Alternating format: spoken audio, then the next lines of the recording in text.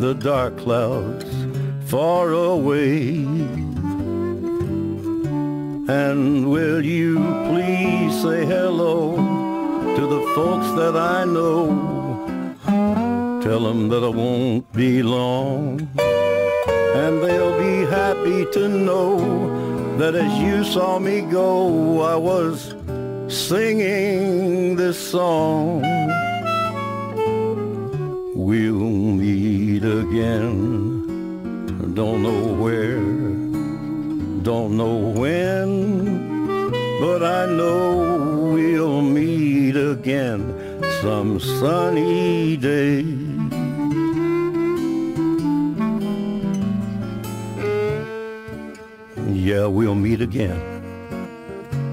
don't know where, and I don't know when.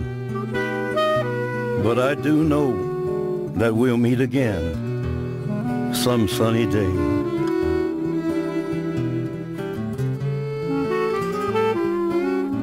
So honey, keep on smiling through, just like you always do, till the blue skies drive the dark clouds far away. And would you please say hello to all the folks that I know and tell them I won't be long.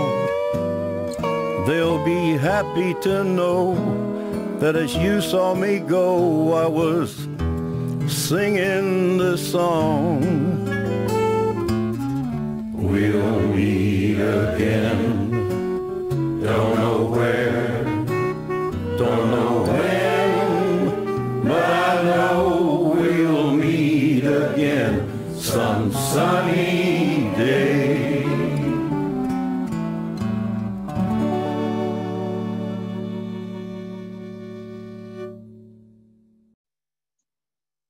Precious memories, unseen angels sent from somewhere to my soul.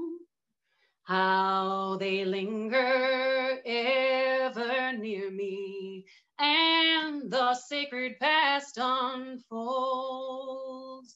Precious memories, how they linger, how they ever flood my soul in stillness of the midnight. Precious sacred scenes unfold as I traveled on life's pathway. Know not what the years may hold. As I ponder, hope grows fonder, and the memories unfold. Precious memories, how they linger, how they ever flood my soul. In the stillness of the midnight, precious memories unfold. Precious Father, loving husband, fly across the lovely years and old home scenes of our childhood in fond memory appears. Precious memories, how they linger, how they ever flood my soul in the stillness of the midnight. Precious sacred scenes unfold.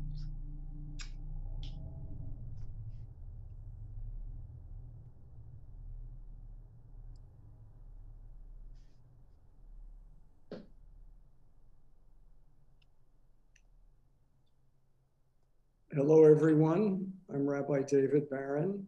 I saw Lisa over there. I'm going to do a little shout out to Lisa. Hello. Um, this is this was so moving, Peggy. That retrospective, just really touching. And you know, when you think about us as human beings, we're just little dots on the planet.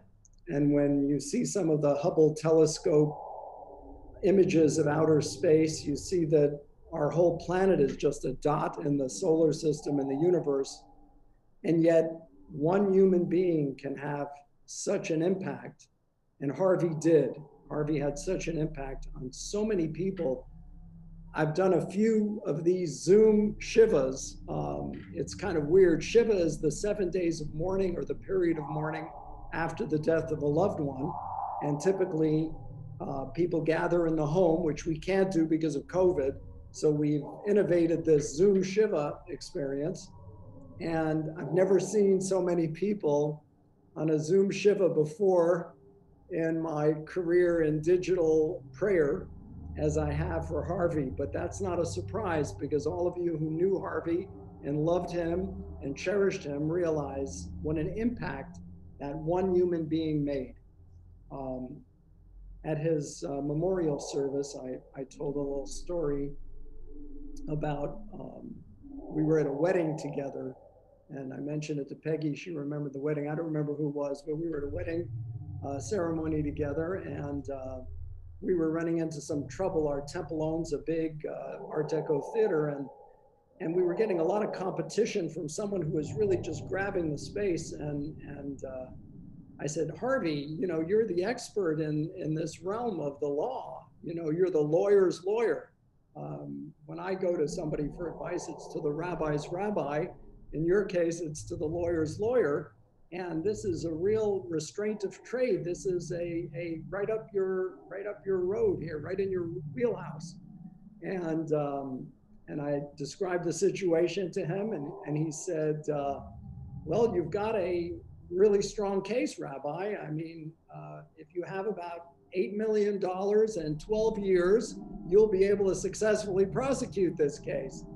I said, so, so I guess, Harvey, that means you're ruling out doing this on a, a pro bono or reduced fee basis. And he looked at me and very simply said, that would be correct.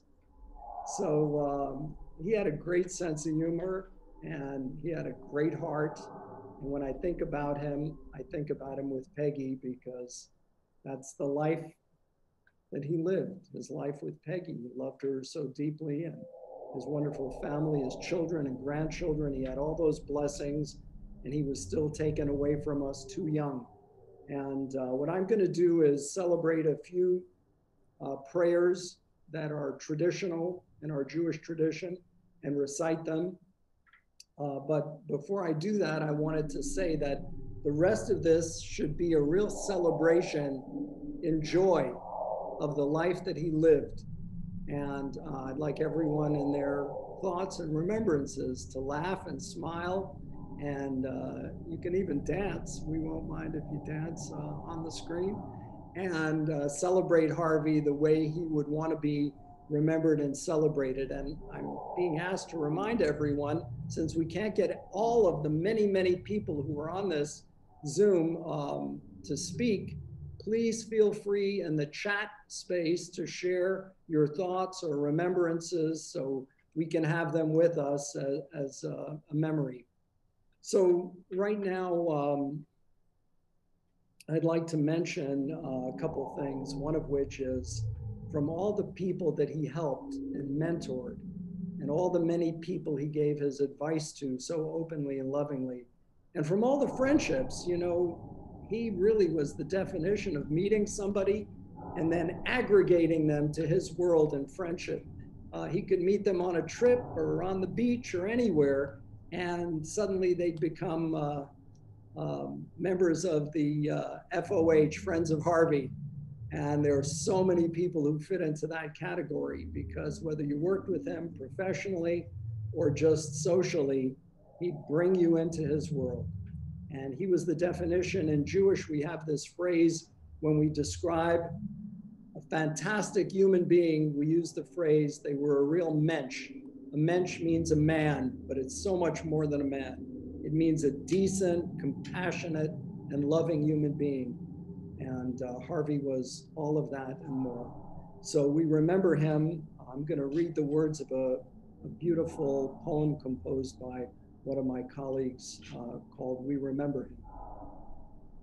And we can close our eyes now and think about Harvey and summon up his image in front of us in our mind. And in the rising of the sun and when it sets, we'll remember him. In the change of seasons, the coming chill of winter, the opening of buds in springtime, the turning of leaves in autumn, the warmth of summer, we'll remember him. At family gatherings, when we have celebrations, joys we yearn to share, we'll remember him.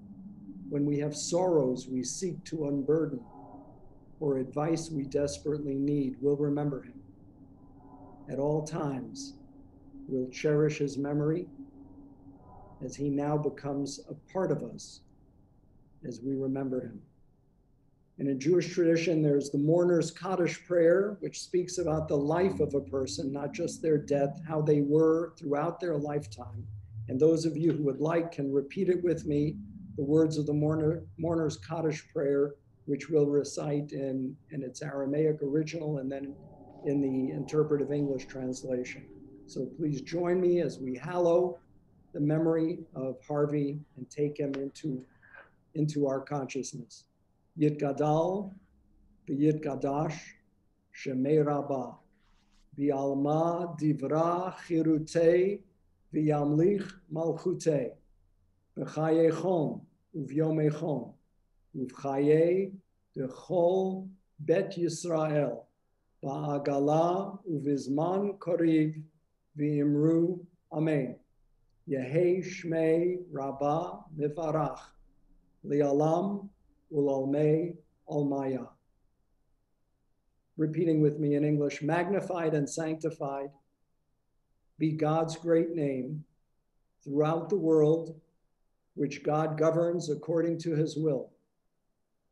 May God's kingdom be established in our lifetime and in the life of the house of Israel. And let us say, Amen. Oseh Shalom. Bimromav, Huyase Shalom. Aleinu, Vial Kol Yisrael, Vimru, Amen. And repeating with me, may God who creates peace in the heavens above grant peace and comfort to this family of mourners, to all mourners for Zion and Jerusalem. And let's all say, Amen. Amen.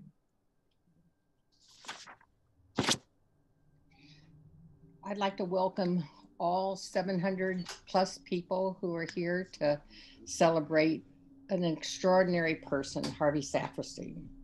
Um, my name is Judy Cotting, and I'm the person who will be trying to move this celebration on throughout the next hour. It means so much to Peggy that you are with her this afternoon and evening, depending on which coast, to celebrate her wonderful husband. And thank you, Rabbi Barron, for being so supportive to Peggy and the Saferstein family during these difficult times. Peggy was so pleased with your many kind words about Harvey at the burial. Your words and thoughts today and over the past month and years have meant so much to her. Also, on behalf of Peggy, I'd like to thank Suzanne Ryan for the many hours she spent in putting together the fabulous video that we all just saw. And Matt for making this Zoom happen. And keep with it, Matt. We need you. Keep up the good work. and of course, thank you, Wendy, for opening up this celebration with the beautiful song Precious Memories. And precious memories we all have of Harvey as we go through this celebration, please think about your favorite memories of Harvey the funny ones, the happy ones, the serious ones. your own memories. We begin with some special words from Peggy's sister Sunny Goldberg and her husband Brad. Sunny and Brad and Harvey and Peggy went to school together in Kansas City. Sunny and Brad were high school sweethearts, as were Harvey and Peggy. And Brad has been Harvey's best friend since they were eight. Brad, then Sunny.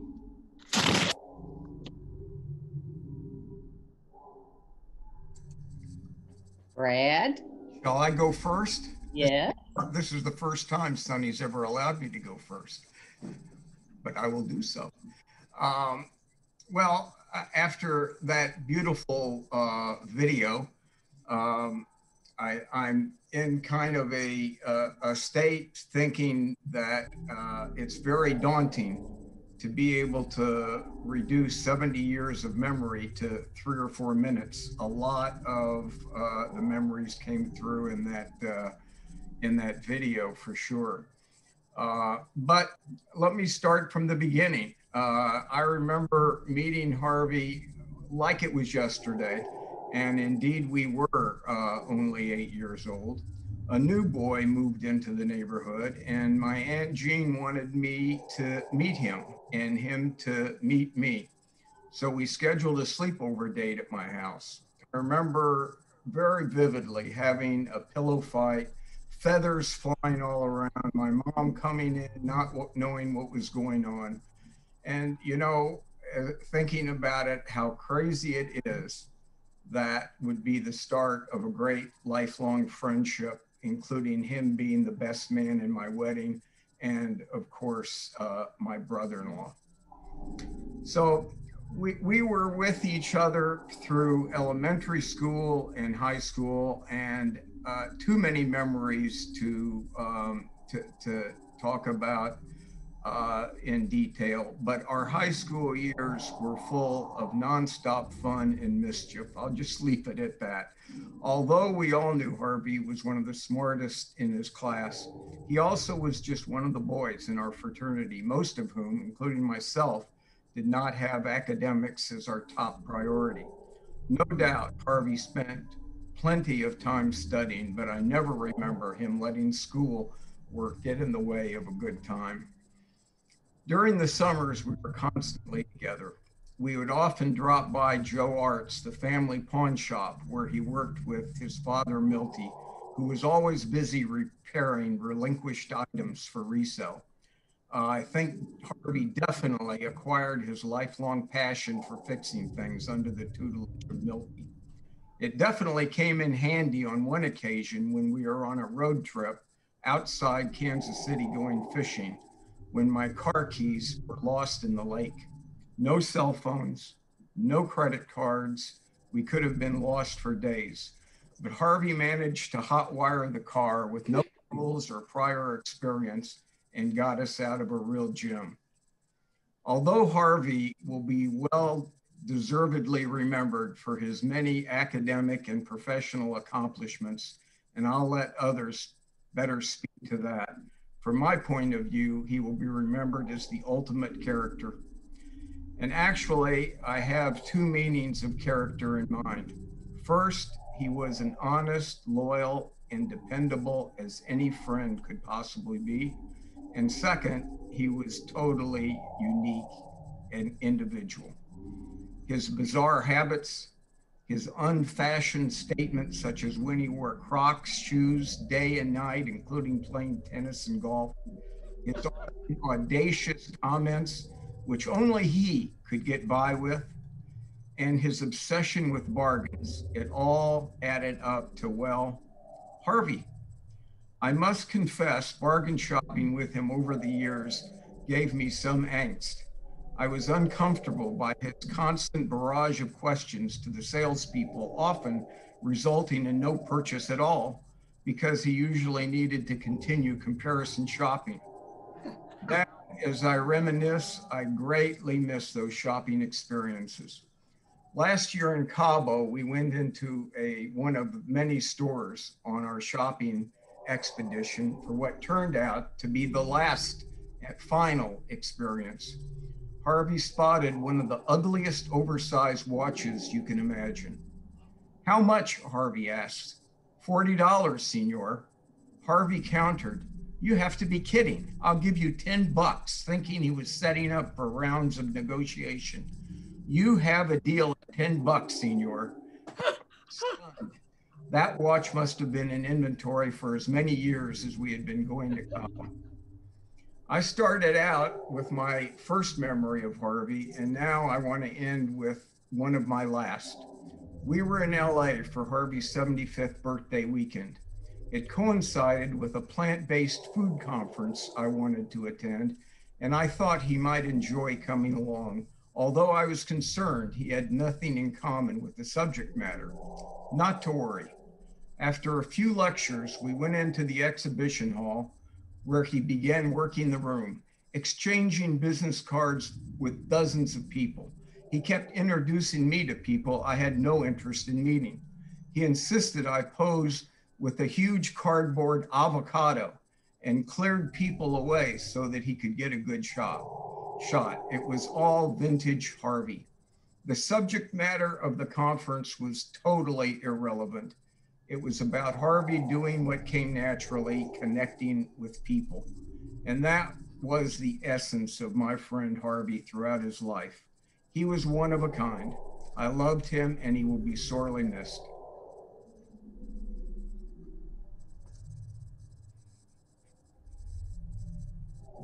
Thanks, Brad. Sunny? Oh boy, good job.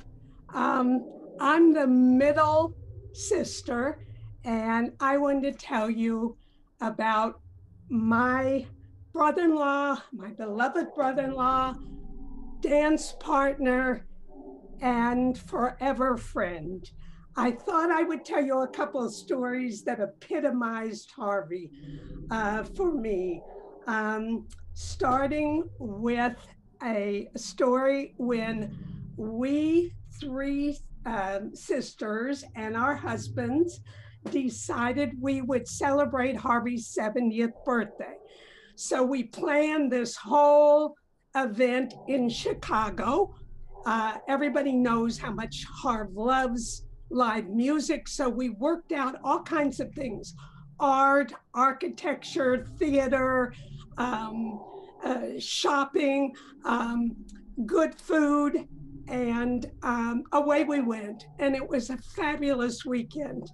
Uh, the, da- the night of his birthday, we had a terrific dinner.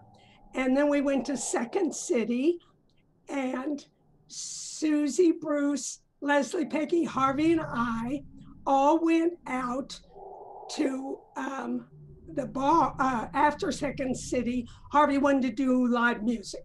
So we went to a bar and then we went to another one and we heard live music. Peggy, Brad, and I called it quits at midnight. Went back to the hotel. Susie, Leslie Blackman, and Bruce went on with Harvey, uh, which was great. And they met a young couple. Of course, Harvey gave him his um, uh, business card and fell in love with them. They fell in love with him. So they continued with Harvey, with uh, Harvey, Susie, and Leslie till about two in the morning.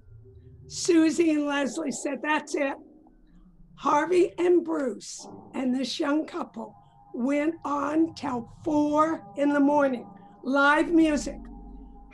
Harvey and Bruce went home, but not without Harvey saying to this young couple, We'll keep in contact, uh, blah, blah, blah, which he did to his credit for the rest of all of the holiday seasons, etc.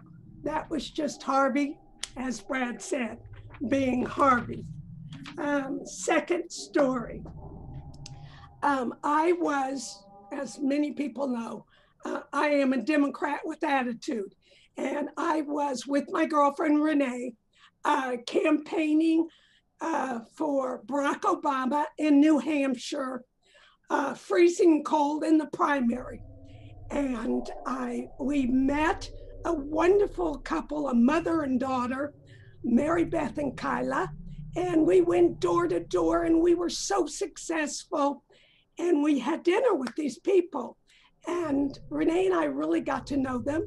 And Kyla, the daughter, began to talk about she had just uh, was graduating from Boston, University of Boston, and she had applied for two internships, legal internships, and been turned down. And I said, Oh my God, Boston, wait a second.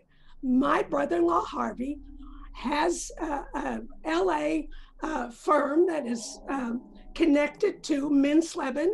Their ma- main headquarters are in Boston. Let me call Harv. So I get on the phone right then and there, call Harvey, say, Harvey, I'm sitting with the cutest young woman who's trying to get an internship in um, Boston with a law firm, and everybody's turned her down. Get back to you, Sunny, but have her send me her resume. I tell Kyla, send it to uh, Harvey right away. Probably 35 minutes later, Harvey calls and says, maybe it was 45 minutes, can I talk to Kyla? And I give him the phone, which was huge at the time, at 08. And um, he says, Kyla, would you like to work as an intern at Mintz Levin? And he got her the job. Typical Harvey. Didn't know Kyla, blah, blah, blah, but I had made the wreck.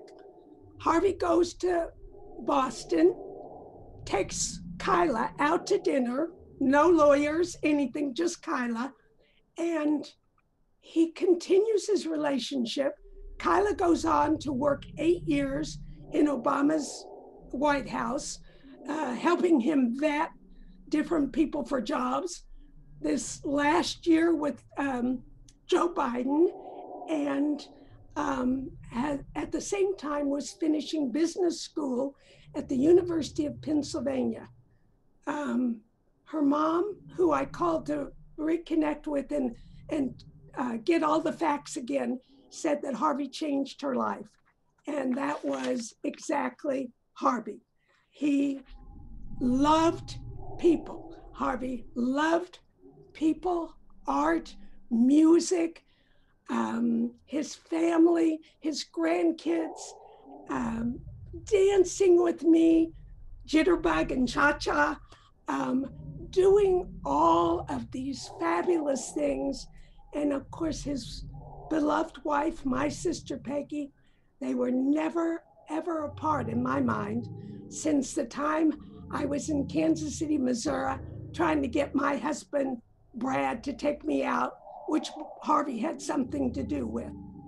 Um, I have to say that um, I will miss my dear brother in law so much, but I know when I see him again in that happy hunting ground in the sky, he'll be waiting for me, playing on the piano.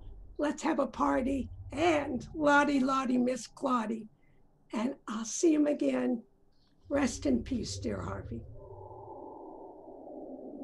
Thank you so much, Brad and Sunny. And of course, many people on the Zoom can identify with many of the stories that you're telling, and they have their own stories as well. From September 1965 until now, my husband Richard and I have been best friends and have gone through life's wanderings together with Harvey and Peggy. Richard will say uh, a few words, and, and I'll say a couple of personal words. Well, as Judy has mentioned, we met Harvey and Peggy in September of 1965 when we all had moved to Cambridge to continue our educations. Harvey was entering law school and I was entering graduate school. And through the generosity of Peggy's and Judy's dads, um, and after an independent and exhaustive but fruitless uh, search of older, more moderately priced apartments, we wound up living on the same floor of a new apartment building halfway between MIT and Harvard. The chemistry between Harvey and Peggy and Judy and me was there, and we immediately formed an amazing friendship that has lasted for 55 years through all of the ups and downs that life has thrown our way. We have traveled the world together and have attended most, if not all, of each other's major events, some joyous, some very sad, like this one. Our world traveling got off to an inauspicious beginning. After I got out of law school, uh, we all decided on the spur of the moment to take the mandatory post graduation, if it's Tuesday, it must be Belgium type of trip to Europe. Because we decided at the last minute to go, we had no reservations anywhere. However, we were confident based on the info given to us by the travel agent Judy had been using that all we had to do was go to a local tourist information office and ask for a room and we could get rooms. Well, even back in 1969, lots of people went to Europe for the summer. So when we arrived at our first stop in London and went to a tourist information office and asked for two nice rooms conveniently located at a moderate price, the agent laughed at us and told us that there wasn't a room to be had anywhere in London at any price, moderate or otherwise. And no amount of arguing or citing what our travel agent at home had told us made any difference whatsoever. After spending quite some time searching around, we finally found one room in an old, not so conveniently located hotel that could accommodate four people. Among its other attributes was the fact that the room had no bathroom. So we had to use a shared bathroom down the hall. So it was a really communal situation. Although some of us were more modest than others, we were young and somewhat flexible, so we all made do and had a great time. Fortunately, the other cities we visited on that trip were not quite as jammed as London. Subsequent trips to Europe were less austere, but no less enjoyable. And we were fortunate enough to have had many trips with Harvey and Peggy to Europe and elsewhere. We explored France, Italy, Spain, Denmark, Greece, and Germany. And he had we had one very memorable trip to Israel for Phil's bar mitzvah. Our last trip to Europe together was in the summer of 2019 when we met Harvey and Peggy in Bruges, Belgium, after they had been in Scotland with Dan. Now, these trips were fun in and of themselves, but more importantly, they provided the four of us the opportunity to maintain the strong friendship that we had developed in Cambridge, even though we had all moved to different parts of the country. Harvey and Peggy to DC and then California, and Judy and me to New York. Fortunately, there were other opportunities for us to maintain our friendship. While we were living in New York, we frequently attended Seder's at Sunny and Brad's house in Mamaroneck. And in addition, we regularly went to Hawaii together during our kids' winter break. These Hawaii trips usually included a one or two day stopover in LA. And I couldn't believe how nice the weather was in LA in the middle of February when the weather in New York was so difficult. The Hawaii trips also provide the opportunity for our kids to get to know each other so that the Saferstein Cotting friendship became multi generational, notwithstanding the long distances between our homes. We are proud to be the actual godparents to Daniel, and for all intents and purposes, virtual godparents to both John and Phil, whom we care about as if they were our own.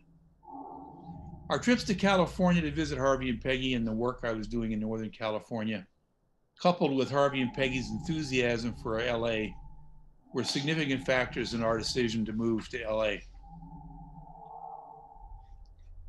When Harvey decided to go to law school, certainly made the right choice for him. He loved the law and he loved practicing law. I don't know what Harvey was like in college, but in law school, it quickly became clear to me that Harvey's work ethic was beyond comparison. That work ethic held him in good stead throughout his career. He was dedicated to his work and would pull out all the stops to ensure that the best possible job was done. Harvey's enthusiasm for the law was instrumental in my decision to go to law school after completing my master's degree in engineering. No one is perfect. Everyone has his or her quirks and idiosyncrasies, and Harvey was no exception. But one of the things that so distinguished Harvey was his ready willingness to laugh at himself when his little peculiarities came to the surface. Everybody is aware that Harvey was addicted to his iPhone. Before the advent of the iPhone, of course, there were pagers, and Harvey always had one or two on him at all times to stay in contact. And then it was the Blackberry and then the iPhone. We tried to ban the iPhone from the dinner table, but that was a losing effort. He was just too in, touch, in tune with being on the iPhone at all times. As organized and directed as Harvey was in his work, on the personal side, he was more of a free spirit. He, as has already been noted, had tons of personality, and he was definitely a social animal. Everywhere he went, he would strike up conversations with strangers, find some common interest, and become friends with them. Half the time, their names and phone numbers would make their way into the contacts list on his cell phone. He was always ready to go out, seeking music comedy or some other sort of entertainment. And he wasn't very particular about where he went, he just wanted to go. One of his favorite, favorite local places in LA was McCabe's Guitar Store in Santa Monica, a very small, rustic venue which has live music of various genres. The room wasn't fancy and the chairs were terrible, but it was always fun. On our trips to Maui, after everyone else had turned in, Harvey and I would head into Lahaina to go to the Pioneer Inn, where they regularly had live music. Contrary to Harvey's willingness to spend like a drunken sailor in his legal work, and in spite of the fact that money never seemed to be a concern, as Brad noted during his comments, Harvey was the consummate bargain hunter. Hence his attraction to the 99 cent stores, which he frequented on a regular basis. Another example of Harvey's frugalness, in quotes, uh, took place when we were still at school in Cambridge. And Harvey and Peggy had this really nice Pontiac GTO convertible, which in those days was the car to have. Somehow it got a dent in the door or fender. One day, while he was driving around Harvard Square, he was approached by a couple of guys who said they could do a really good job fixing his door at a really cheap price. Harvey, in an effort to get a bargain, bit, and the two guys came to our apartment building to fix the dent. But what they did was to slap a little Bondo on the dent, proclaim it fixed, and tell Harvey that all he had to do was sand it down and paint it. Now, these the fellows that fixed the car were were not Harvard Law School students trying to make a little extra money. And consequently, Harvey was so concerned about not paying these guys for a sloppy job that they would come back and, and do something to him or the car that he wound up paying them and then taking the car to a regular shop to get it fixed. As has been noted, and I'm sure will be noted again, Harvey was generous to a fault. He was generous with his friends. He was generous with new acquaintances who quickly became his friends. And he was a significant contributor to many worthwhile charities and civil organiza- civic organizations. And he was always offering to pay everything for everybody. So Harvey checked all the boxes on the life well lived bucket list. He was a great student, great attorney, and a generous benefactor, all while having a great family. But most of all, for me, he was indeed a best friend. He was always there for me when I needed help, and I tried to be there for him when he needed me as well. Right from our earliest days in Cambridge, many people thought that we looked a lot alike and that we were brothers. As recently as a couple of months ago, the receptionist at the Kerlan-Jobe office asked if we were brothers. Well, we might as well have been. I could not have asked for a better brother. Harvey, we all loved you and we will miss you greatly, but you will not be forgotten. Thank you, Richard. You know, what an exceptional life Harvey led. I think we can all think about the many ways that Harvey touched each of us. Um, right after Harvey left us, I was so angry with him uh, on November 19th. So I didn't know what to do actually with my grief. So I decided to write Harvey a letter. And fortunately for you, you'll get a shortened version of the letter I wrote. And I started out by saying, Harvey, my dear, wonderful, generous, unique, quirky, funny, amazing, brilliant friend. No, seriously, my buddy. And you are one of a kind, Harvey. You never met a stranger, and you always made everyone feel so important. You always had something good to say. There is no one you would not help, and I mean no one. So, in my letter, I say to you, Harbs, you've been a truly amazing friend for 55 years. Family celebrations, our many, many trips together, quiet moments, deep discussions. And of course, Harvey always poked fun at me. You have always been there for me and my family, no matter what. We've had an unconditional friendship. You've been a support system. You've been the best friend of my husband. You have loved and cared for my children and my grandchildren. You dearly loved my daughter Barbara. In the darkest of moments, you made the sun shine through. Harvey, you brought so much joy and love to my family and to me. You gave me so many reasons to smile and to laugh. Thank you, my dear Harvey, for being the kind of friend that Richard and I needed. And we will love you forever. And we promise you that we will take good care of the love of your life, my dear friend Peggy. And as Harvey and I always said to each other when we left, one of us would be dashing out the door and we would say, See you later, love you. So I say to you now, Harbs, see you later, love you.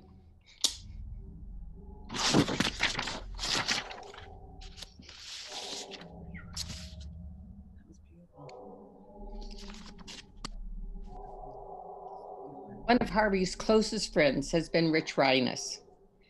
For the last 15 years, Harvey and Rich have had Saturday breakfasts together, including the Saturday before Harvey left us.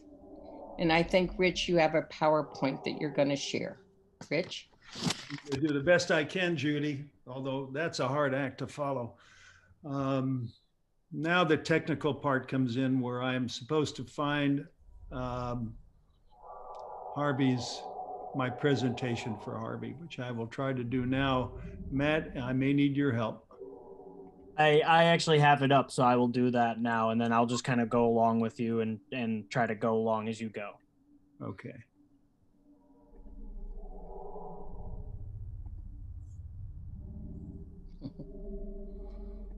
Okay. Just do that. Yeah. All right. Um, as Judy said, Harvey and I have been going out to breakfast every morning, Every Saturday morning. Every Saturday morning for the last 15 years or so. Our, our um, plan was, uh, let's see if I can do that. No, I can't. All right, Matt, go to the next slide. Our plan was uh, governed by certain rules. The, the first rule was that we would never repeat. That meant that we travel all over the city, uh, all over Southern California to find a new restaurant spot be, because we would never repeat. I'd pick him up at 8:30 in the morning. Typically, he would have done a little research on Google to find a place in Tarzana or in Pasadena or in El Segundo or Hawthorne. Uh, and we would travel by car to these restaurants. And um, because we never repeated, we got to see together a lot of the, the city. Uh, you're going to see a lot of pictures of this, and typically Harvey would go up to somebody in consistently with what you've heard before, and he would say, "Hey, would you take a picture of the two of us?" And in a second, you'll see why we took all of these pictures. Next slide, Matt. So, another rule that we developed as we made our way gustatorily through Southern California was that if there was a special on the menu, one of us had to eat the special. And of course, when Harvey would order the special, he would take a bite here or a bite there and move everything around on the plate so it would look to me like he was actually eating something that was offered as a special, but he never finished these dishes at all. And on the other hand, I would eat them depending upon what was left over at the restaurant the night before. Next slide, Matt. The third rule was that we decided to take these pictures largely due to the fact that we were, as we got older, unable to remember where we had been the week before. So we figured if we took these pictures and tried to get the name of the restaurant somewhere in the background of the picture, uh, that we would remember, oh, we've been there before, we can't repeat that. So that's the reason that you see sometimes that the pictures are, are taken by a third party. And there's a little plug there for Krispy Kreme. Uh, it was typical of Harvey that he would try to wear different hats. I couldn't figure out where was he getting all of these hats. Maybe uh, Danny can help me understand that. that. But uh, on every morning, Saturday morning, when I would pick him up, he'd be wearing different hats as we went around the, the city together. Next slide. So one of the things that we learned along the way was that the best breakfast places are under a freeway on ramp or off ramp. And typically, if you really want to go to a great be- breakfast spot, it has to be playing soccer on a TV. These were early in the morning, so there's Harvey. And if you look in the background, you're going to see soccer on TV. These were things that we really enjoyed together. Next slide, Matt. So we started taking selfies when we got there too early for a third party to catch up with us. And because I got long arms, uh, that fell to me occasionally. Next slide, Matt.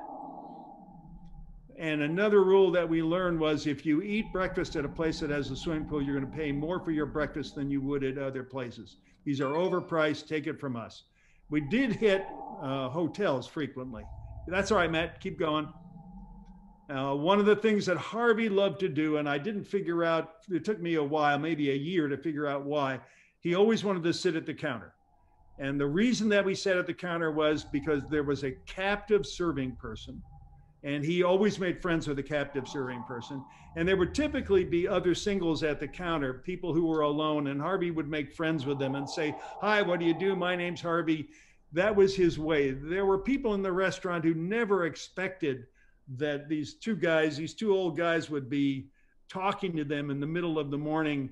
Half of them were hungover from the night before, and Harvey would always ask them what they did, and eventually they'd end up in his contact list. I expect some of them are on this phone call. Next slide, Matt.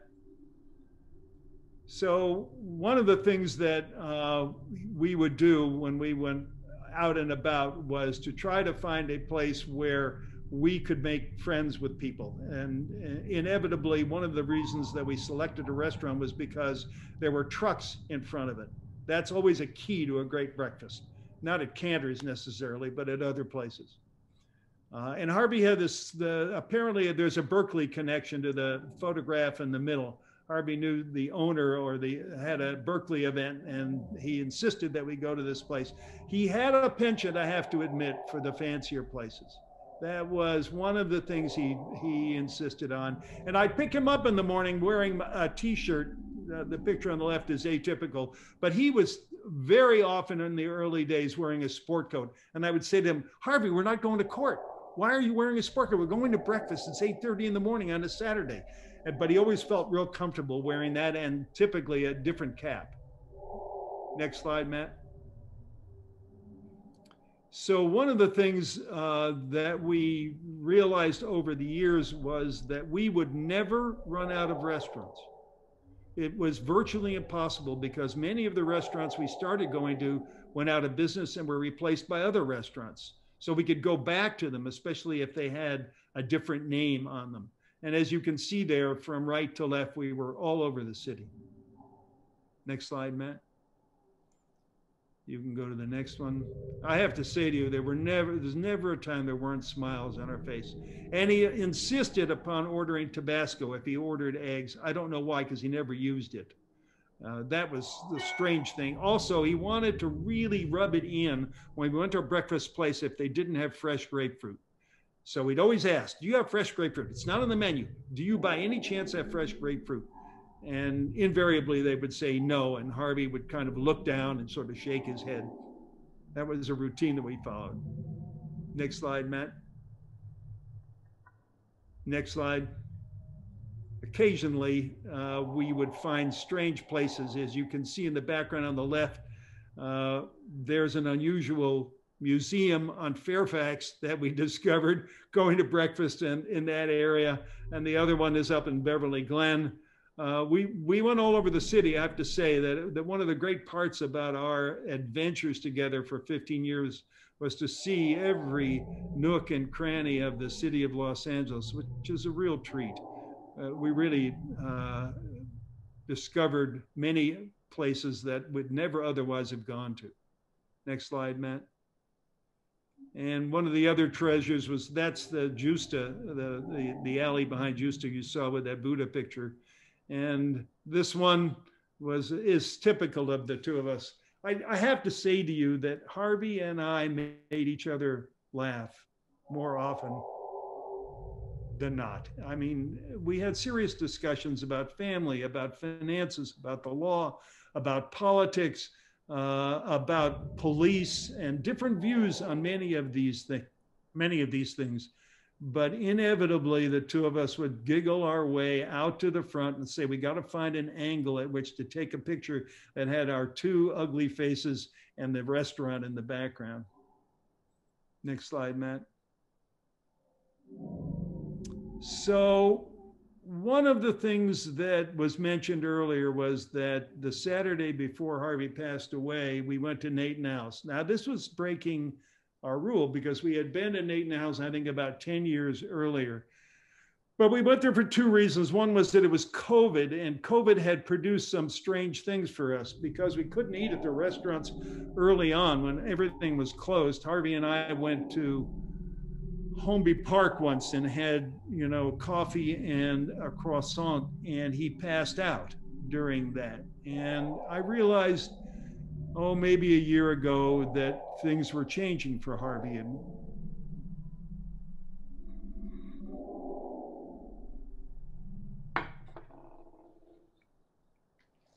things became difficult. Um, so we started to talk about his condition and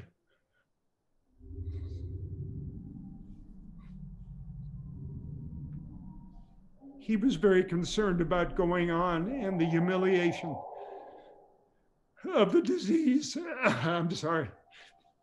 I should be smiling because he always put a smile on my face. Um, but there was a time when Harvey thought about taking his life, and we talked about how serious that was. And I know he felt terrible about things that happened during the week because uh, we started to see each other more than on Saturdays. And I remember distinctly, maybe two weeks before he died, we got up one morning early and we went to breakfast on a Saturday. And he said to me, Oh, I'm really nervous. I have to file a paper this morning. And I said, Harvey, it's Saturday and COVID. You don't have to worry about filing any papers this morning. So he said to me, Oh, I, I'm really glad to hear that because I was so nervous. And then, like an idiot, I said to him, Who's the client? And he looked at me sheepishly, and I realized he was embarrassed. Uh, and it, this disease got to him badly, terribly. Um, and I, he, he found it very, very difficult. Um, and, and it was sort of overwhelming. Anyhow, that was the Saturday before um, he got really sick on Tuesday night. I think it was Tuesday night. Anyhow, he had called me to come and pick him up. Uh, and because he was in Pasadena, uh, and I called Peggy worried about him, and he was at home. Next morning, he had a stroke, and um, I went to visit him in the hospital. I told Peggy and Rich and Judy this story, but I really wanted to see him. So I go into the hospital room at uh, the ICU at UCLA there's nobody there, but the room has a curtained entry. And I figured, well, I'm alone. I can say whatever I want to. There's Harvey. He looks like he's snoring away. He's breathing regularly, um, but not moving. So I said, Come on, Harvey, get up. It's time. We're going to go to breakfast. It's Saturday. Get out of bed. No movement, nothing, zero. Still breathing away, snoring. Harvey, come on. I'm not kidding. You're late. We got to get, you got to get dressed. Come on, get moving. Nothing.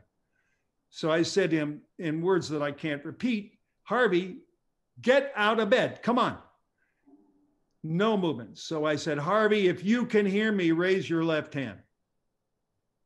Suddenly he raises his left hand. Now, Peggy had told me this isn't going to happen. He's sort of at that point gone. And here he raises his left hand. So I grab his left hand with my left hand and I say to him, Harvey, I know where you're going.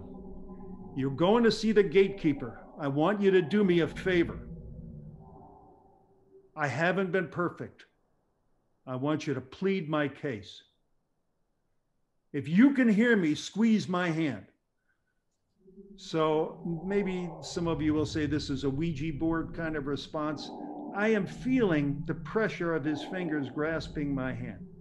I was sort of overcome by this. And I let go of his hand. His arm went down. And I turned around, and the nurse had come into the room.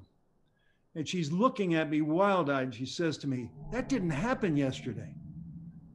So I thought, I was really stunned. And I sat down on the left side, Harvey's left side. I thought, I got to get a picture of this for Peggy.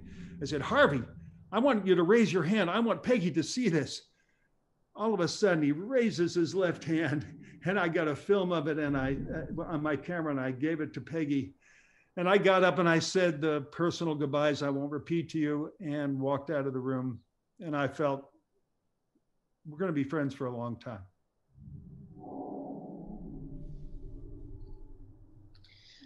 Thank you so much, Rich. I know how much Harvey meant to you and the the moments you all shared and had together and and it's what a special time in Harvey's life and your life it was. So thank you so much. And again, I know the people uh, on the Zoom have many stories um, that uh, mean a lot to them.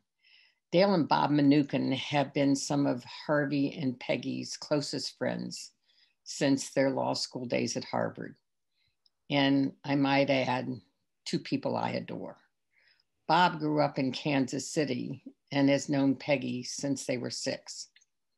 Bob, with some detours, never left Harvard, which is where he is a law professor right now.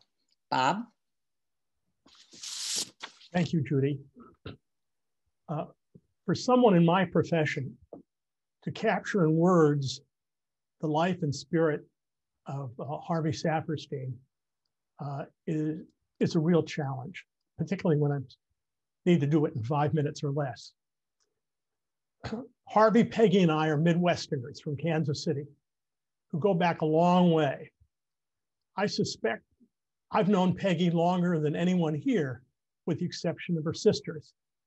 Harvey and I met in high school, but the deep friendship blossomed in 1965 when Harvey and I were first year students at Harvard Law School. I can boil down the theme of my eulogy to a single sentence. Harvey was a true Midwesterner whose life remarkably exemplified Midwestern virtues. At the law school, Harvey, as you could imagine, was extremely sociable. But unlike most of our fellow students, he never spent much time debating issues of law or public policy or engaging in political debates.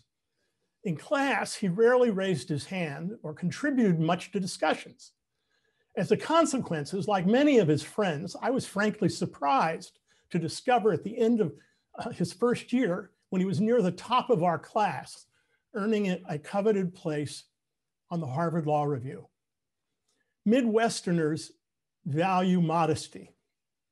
Harvey never showed off his intelligence. A talented law student, a gifted litigator, Harvey became a leader of the bar. Always a disciplined and prodigious worker, Harvey was a high achiever whose drive and ambition were there, Uh, but not displayed. He went about his business without fanfare or drama. I never heard him brag. While Harvey was never a Boy Scout, I was. And I think his other Midwestern virtues are encapsulated by what's called the Scout Law that I memorized as a kid. A scout is trustworthy, loyal, helpful, friendly, courteous, kind, obedient, cheer- cheerful, thrifty, brave, clean, and reverent. With the exception of reverent, Harvey was not very religious or spiritual. Harvey lived by these Midwestern virtues. Harvey was trustworthy. You could depend on him. He kept his promises. Helpful. Harvey would volunteer to help others without expecting a reward. Generous with his time. He was never t- too busy to help someone find a job or lend a hand. Courteous. Harvey treated everybody with respect. Loyal to his family, his friends, his profession, and his alma mater. As an alum, Harvey never missed a Harvard reunion and spent hours soliciting his classmates for contributions. Long after graduation, he nurtured a close personal relationship with his old profs, especially Professors Phil Areeda and Arthur Miller. Kind, Harvey treated others as he would want to be treated himself. Obedient, Harvey followed the rules of family, profession, and nation. Cheerful, Harvey was an optimist who always looked on the bright side of life and tried to help others be happy. Thrifty, you've already heard about that. Uh, he bought bargains at the 99 cent store. Indeed, at one time, we were both deciding we wanted to get new cars. So we decided we were going to buy twin Saab convertibles. So we went to a dealer and said to this dealer, we want two convertibles that are identical and we're going to want a really good price. Well, we did get a very good price, as you can imagine. Uh, Brave was Rich just suggested. In the last months of his life, Harvey courageously faced his serious illness without a hint that I saw of self pity or why me. Clean. Even in the 60s at Berkeley or in Cambridge, to my knowledge, Harvey was never any kind of hippie or into drugs. I saved friendly for last because to say that Harvey exhibited the Midwestern virtue of being friendly does not do him justice. More than anything, Harvey was a people person who, as you've heard, loved connecting with everyone he met. He was the consummate networker. During the 52 years since our law school graduation, geography notwithstanding, our friendship only deepened. We stayed in touch, and nearly every year, the Safersteins and the Mnookins visited one another on one coast to the other in LA, the Bay Area, Cambridge, or on Martha's Vineyard. Harvey turned strangers into friends and friends into family. I count among my greatest blessings the gift of Harvey's friendship. I love you, Harvey, and I miss you very much. Thank you so much, Bob. And you know how much Harvey loved you and Dale. So thank you. Chris Snyder and her husband Mark have been dear friends of Harvey and Peggy's for years. Chris is a U.S. District Court judge and knows Harvey not only as a friend, but also as a lawyer and an advocate for all people. Chris? Thank, unmute me. Okay, good evening. Um, I'm speaking as, as just indicated at Peggy's request, as one member of the legal community who knew Harvey both as a friend and as a lawyer. I find this especially difficult because this has been a year of great loss for many of us. In February, uh, we lost our friend Ray Fisher, a friend to many of the viewers tonight, a colleague of many of the people who are viewing tonight, and certainly a friend of Harvey's.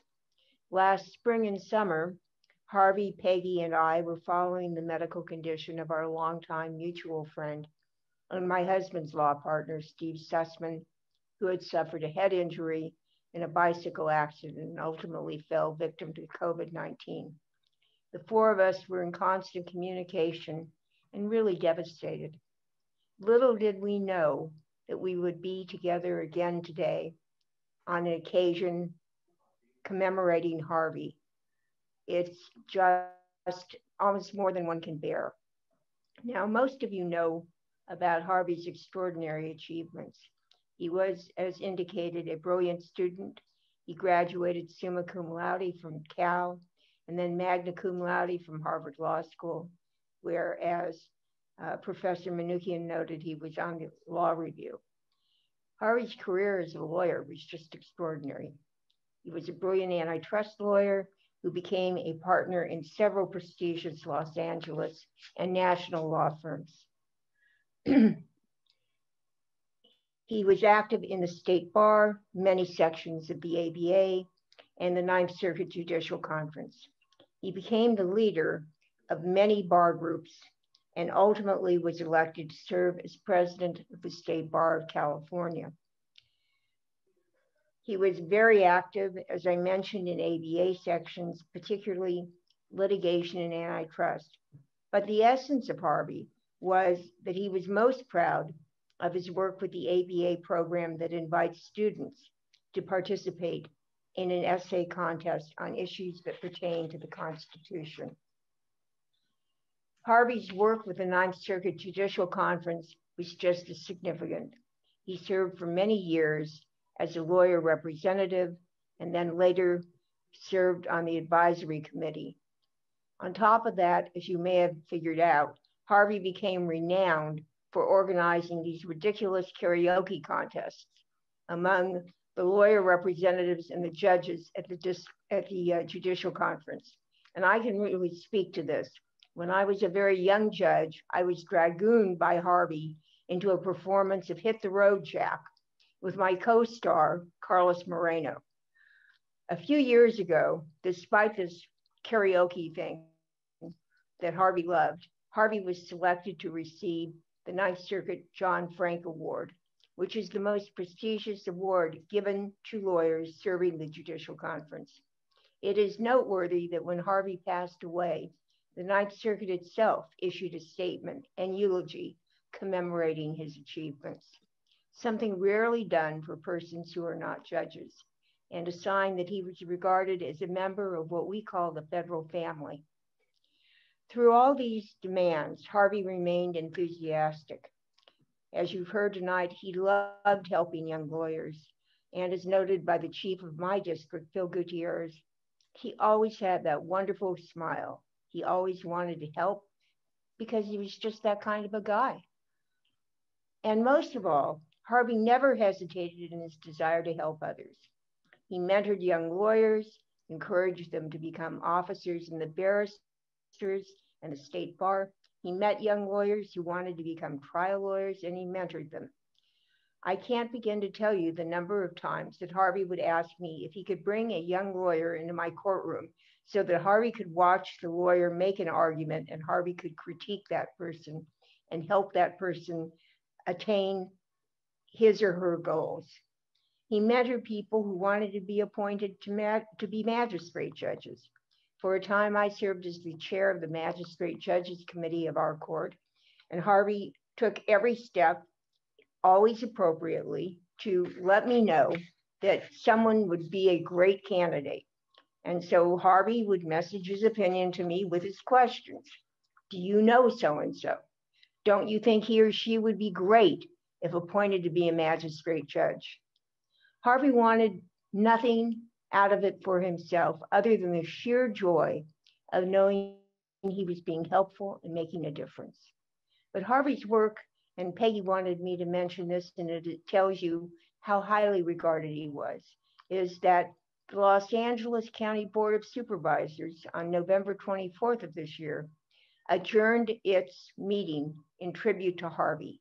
Harvey had made such an impression not only on lawyers but on people in the legal community that the board uh, acknowledged him. As many of you know, a few years back, Harvey sent an email to his friends and associates announcing that he was retiring from the private practice of law to become general counsel of his son's sports attires business, Sportsman Cap and Bag, which is located in Kansas City. For those who knew Harvey well, it was clear that Harvey was taking the opportunity to be with his sons in his beloved Kansas City and to be able to attend more Chiefs and Royal games. For all of his years in Los Angeles, Harvey never abandoned his Kansas City roots. And for that matter, he and Peggy never left their Kansas City friends, many of whom you have heard from tonight. Indeed, if you were Harvey's friend, you came to know their friends in Kansas City, be they family, business people, art dealers, and professors of law. Most likely, this is because at bottom, Harvey was not unlike a great work of art that was on loan to the rest of us during a large portion of his life. To Peggy, John, Dan, Phil, we are all grateful for the time you permitted Harvey to give to our legal community. And to you, Harvey, a blessed memory, I know that you are busy messaging plays to Andy Reid and Patrick Mahomes to assure that somehow the Chiefs will win this year's Super Bowl. After that, I look forward to reading about your next act in Law 360. Thank you so much, Chris, and for certainly highlighting uh, Harvey's selflessness and, and his love for the law and the work that he did with you. So thank you very much. The next person is one of my most favorite people. Only for him would my family travel to Israel for his bar mitzvah.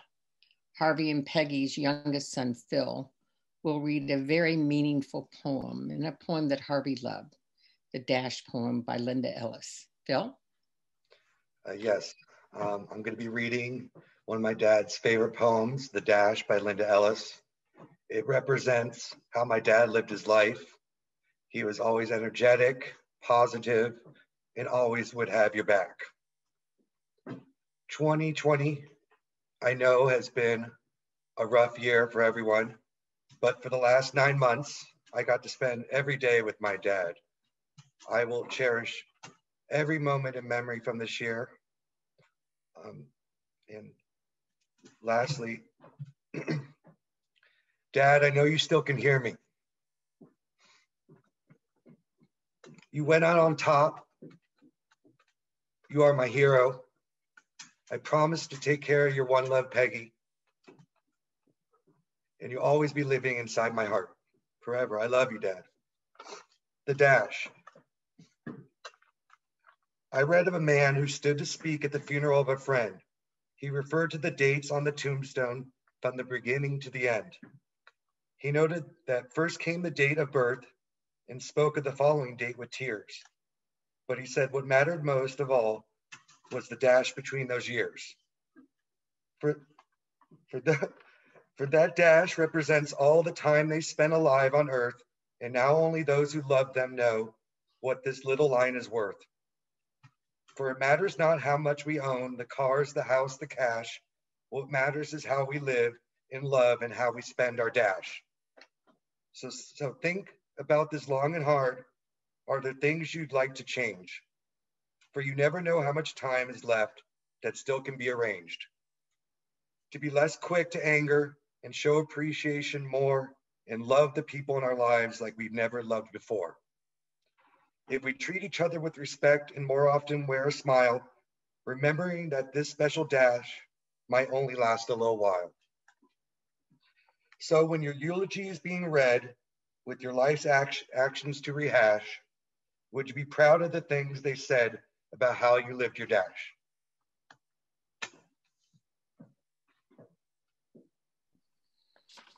That's beautiful, Phil, and thank you so much. So, for our last two speakers, Harvey was very proud of his three boys, and as you can well imagine, loved them dearly uh, John, Dan, and Phil.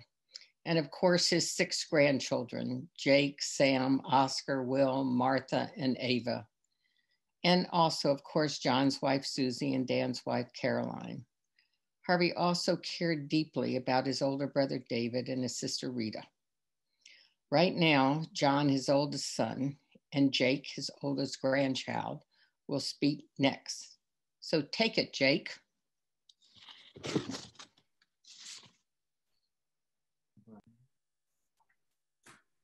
Uh, thank you, Judy. Um, on behalf of all of the grandkids, uh, obviously we have fewer years of experience with Harvey, but uh, we'll forever miss him as a loving grandpa. He was not a grandpa of uh, grand gestures, but instead found joy in everything and everyone. On any given Tuesday afternoon, he could have picked out six personalized toys for us from the 99 cent store. Even though he bought them on a whim, he managed to make every trinket meaningful and fun. Me and my siblings loved all the holidays and weekends we spent with Harvey in his yard, barbecuing with him, swimming there, competing in bocce ball, or even getting roped into one of his many home improvement projects. He always had dreams for us grandkids to become lawyers. And while none of us are on track to do so, we have gotten a lot out of his effort.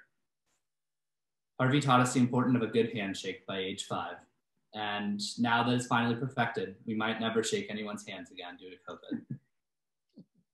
But whenever Harvey came to San Francisco for law conferences, he'd make time to bring me along. I can't say I expected much at first, but perhaps I would have enjoyed being a lawyer more than I thought in the end. We always had thought provoking conversations at dinner, made time for ice cream, and ended the nights at rooftop bars and following live music around town. Typically around this time of year, Harvey would bring our whole family together in Cabo. And while it's obviously different this year, it will never quite be the same without Harvey. We'll miss waking up early with him for tennis, hanging out on the beach, walking through town and buying everyone the funniest but most embarrassing shirt he could find. after a night of dining and dancing, we'd come back to Harvey's room for game night. He'd lay in bed, seemingly too tired to play, just to wake up to answer trivia only Harvey could know. I love you, Harvey. And I just want to thank everyone again for being here and for all the support you've given us grandkids and our entire family through this time. I'll miss you, Harvey. Thank you, Jake. Um, so I'm looking at my speech that I wrote once, couldn't uh, look at it again. So I had my uh, Susie look at it and uh, I wanted everybody to see. She gave me an A plus just in case I can't make it through. And it's probably the only A plus I've gotten in my entire life. So um, I haven't changed it. So this is now the uh, only the second time I've actually looked at it. So we'll we'll go from here.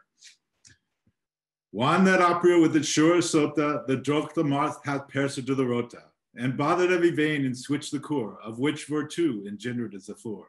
One Zephyrus ache with its swate breath, and spirit hath in holten hath the tender corpus, and the young Gasuna hath in his ram his hafe corse rune. And small fulas mock that sleep in all the nick with open year, then pricketh them that sure and hear courageous, then logging folk to go on pilgrimages, and palmers for the sake of stranger strangers, to ferne harres, couth and sonde londres. This passage is from the prologue of Chaucer's Canterbury Tales. If you went to Harvard High School, now Harvard Westlake, back in the 80s, all ninth graders were required to memorize this passage and recite it in front of the entire class. I will go back to why this passage is significant in a bit. But first, I would be remiss if I didn't get a little political. Harvey loved his politics, and he would probably be preparing a brief for the Supreme Court right now in favor of the legitimacy of the election. To this end, I will refer you to the Twitter feed of Ed Norton. Yeah, Ed Norton, the actor. Always liked him in movies, but never thought about him much. Until I read an article about his tweet on November 20th. He says, I'm no political pundit, but I grew up with a dad who was a federal prosecutor. I don't think Trump is trying to make his base happy or laying the groundwork for his own network or that chaos is what he loves. The core of it is he knows he is in deep legal jeopardy, and this defines his every action. Whether you agree with Ed or not is not the point. What is important here is that it was his dad that he learned from. It was his knowledge of his dad as a federal prosecutor that shaped his view. And it was his dad and his love for the law that he related to. So, what did I learn from my dad? What did Harvey pass on? I could go on and on, but I will try to summarize some of the highlights. First, a little known fact about Harvey. He was an English major in college. Yeah, somehow majoring in English can get you to, into Harvard Law and to the highest levels of the legal profession. Who would have thought? So in our household growing up, unlike many of my friends, it was my dad we went to for help with our English homework. Oh, and he was a crazy good editor.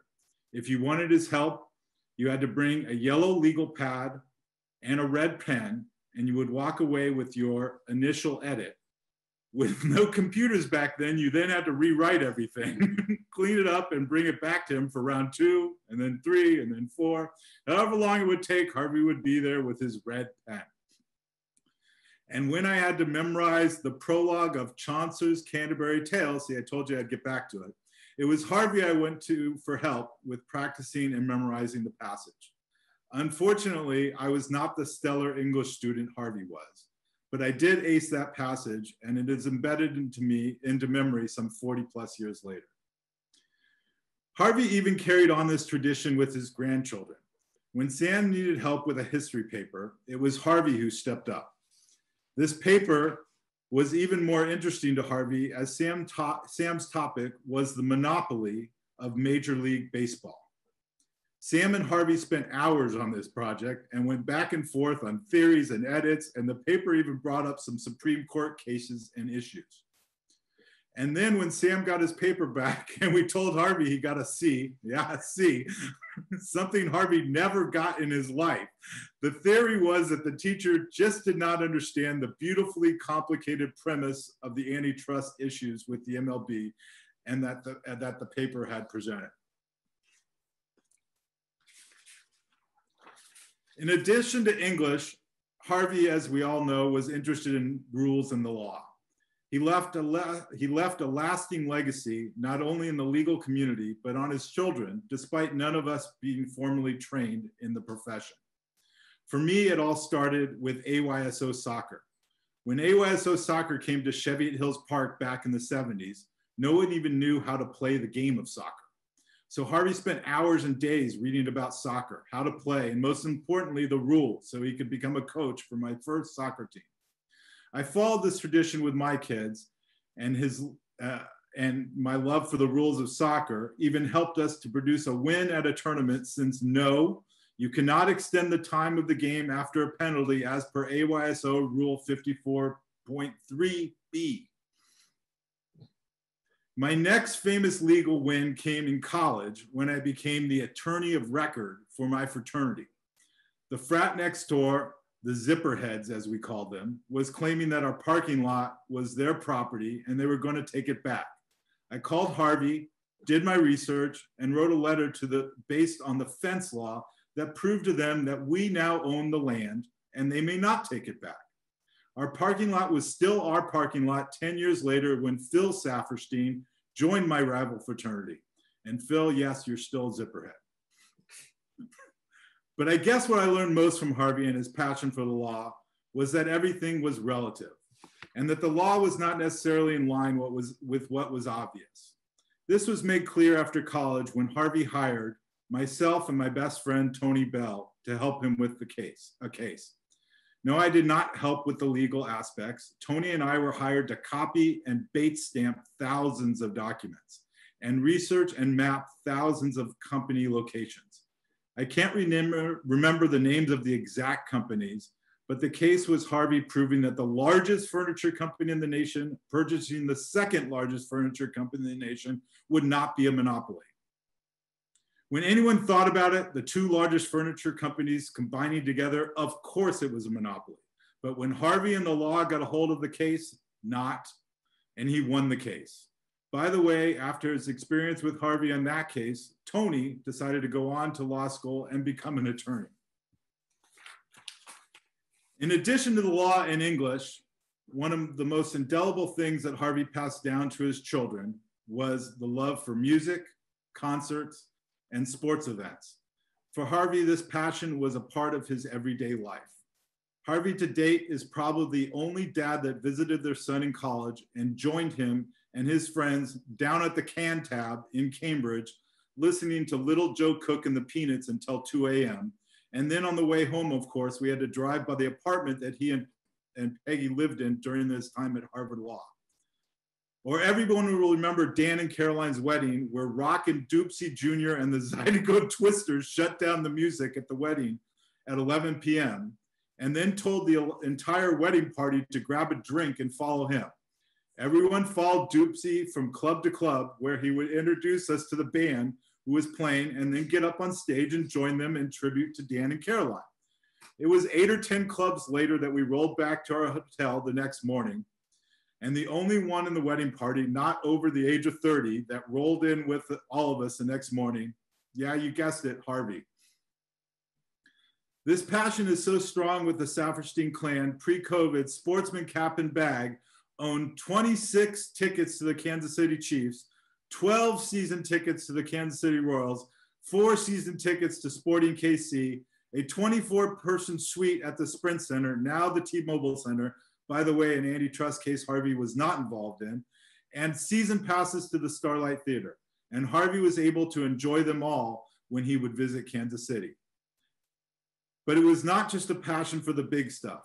Harvey loved the energy of any live event small, intimate live music, performances at obscure playhouses across LA, or his grandkids' soccer, baseball, football, lacrosse, hockey, basketball, or volleyball games. He loved it all. And Harvey passed that passion on to his children. So much so, I don't just drop off my kids at Coachella and other concerts and festivals, I join them. So many more memories. Harvey driving down Sepulveda Boulevard in his blue button down and tweed sport coat on a bulldozer rented from U Rents so that Cheviot Hills could build a new playground for Overland Avenue Elementary School.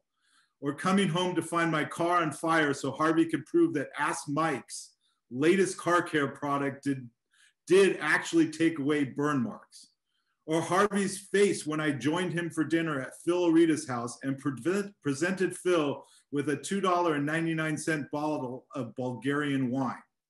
I will remember them all forever.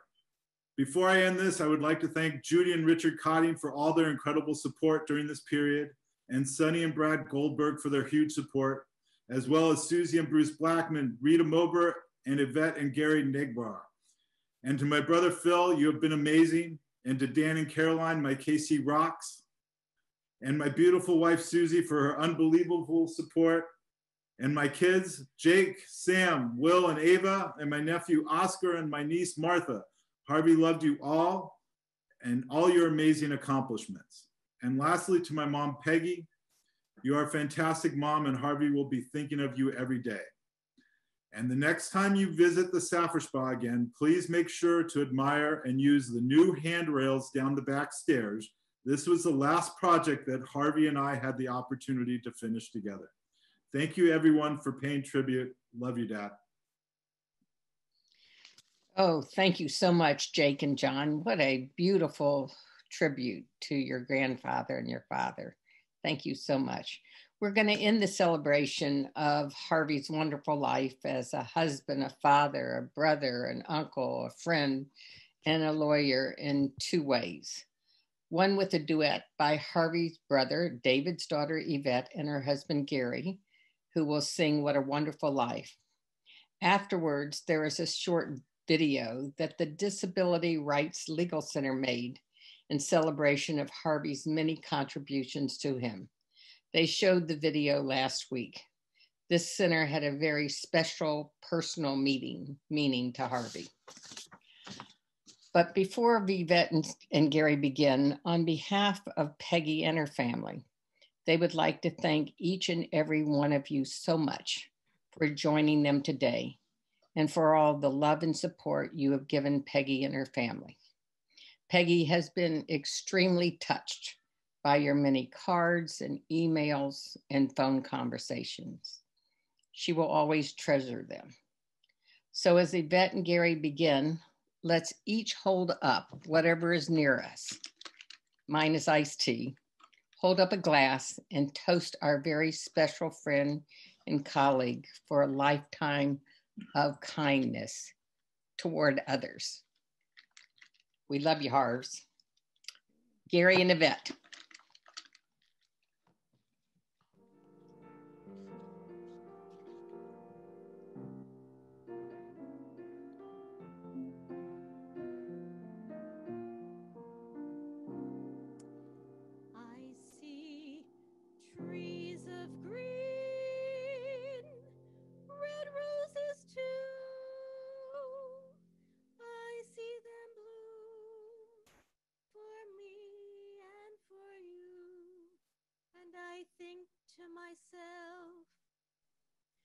What a wonderful world.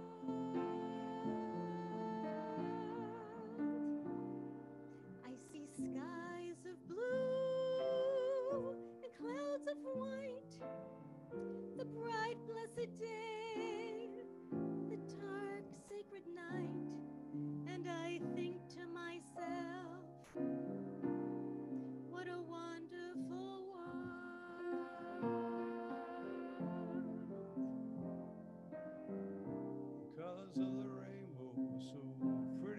sky. There are also the faces of people going by. I see friends shaking hands saying, How do you do? What they're really saying is, I love you. I hear babies cry. I watch them grow. They'll learn much more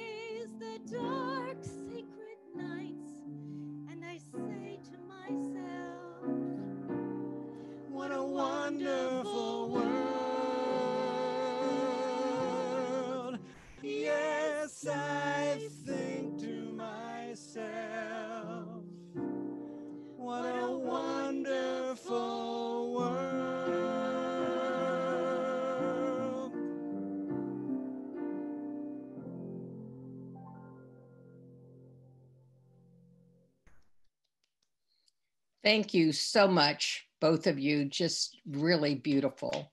And Matt will end with the uh, the last video.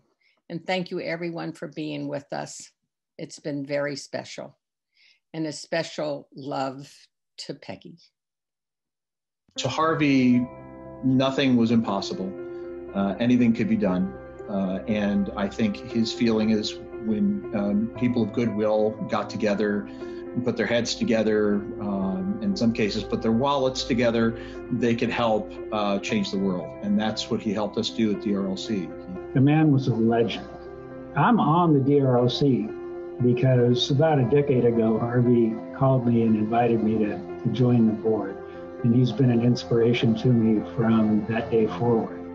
We'd have breakfast about four times a year where my day would start with Harvey's enthusiasm and Harvey's good nature and his jokes and just a completely upbeat spirit. Candidly, he was always smiling, with one exception. And when he wasn't smiling, it's because I knew he was thinking. And whatever came next after that quiet moment where he was looking away and had dropped the smile from his face just momentarily, I knew was going to be something that moved our mission forward. His unique contribution was making connections for us and also thinking creatively out of the box. Before there was LinkedIn, there was Harvey.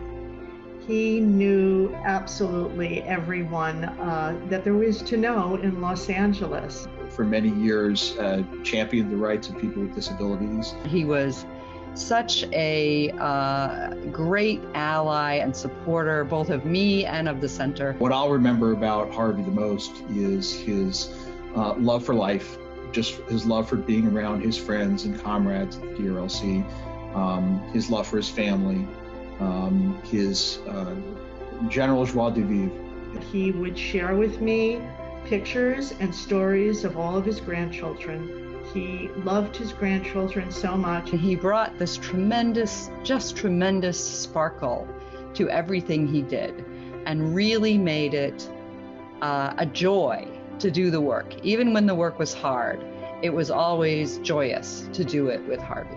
It was uh, always a joy to spend time with uh, Harvey, and as I'm sure others have said, it, it, really was a joy for me to see his holiday card uh, and finally put faces and stories every year to all the stories that he had told and all the names that he had mentioned. A, a real friend, uh, really to everybody who met him. He he knew everybody and everybody and loved everybody and everybody loved him. And he will be very sorely missed.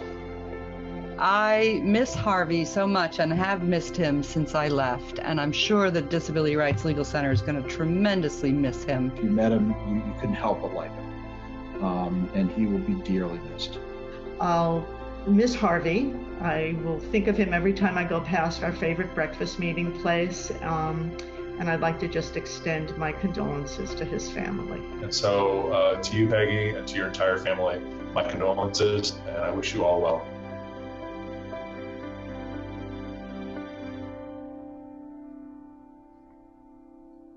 Of him. Yeah.